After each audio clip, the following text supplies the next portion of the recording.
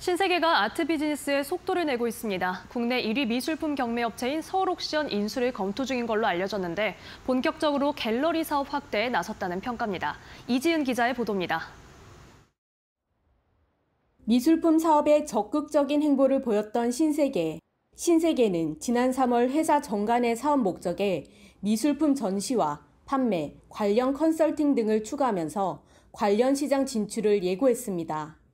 앞서 지난 12월에는 서울 옥션 주식 85만 주 가량을 취득한 데 이어 최근 서울 옥션을 아예 인수하는 방안을 검토 중인 것으로 알려졌습니다. 신세계가 미술품 사업을 확대하는 배경으로는 젊은 컬렉터들의 증가로 미술품 경매 시장이 빠르게 성장하고 있는 만큼 백화점업과 미술품 사업 간 시너지를 염두에 둔 것으로 보입니다. 또 미술품 공급 라인과 신사업 네트워크를 보다 안정적으로 확보할 수 있기 때문으로 풀이됩니다.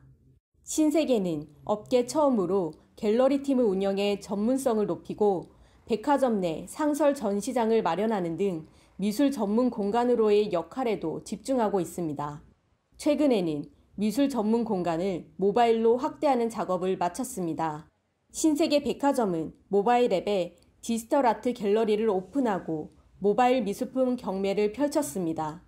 또 아트 비즈니스 확대의 일환으로 NFT 신사업에도 뛰어들었습니다. 신세계 백화점은 대표 캐릭터 푸빌라를 NFT로 1만 개 제작했는데 1초 만에 완판됐습니다. 신세계뿐 아니라 백화점 업계 전반으로 미술 사업을 확대하는 분위기입니다.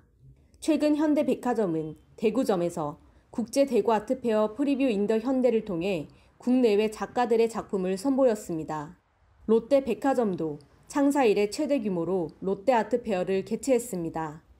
오프라인 매장에서 사람들을 좀 유입을 해서 뭔가 차별적이거나 아니면 고객 경험 관리 같은 것들을 해야 되는데 미술 사업이나 이런 것들을 통해서 차별적인 고객 경험 제공하려고 하는 시도로 보여질 수도 있거든요.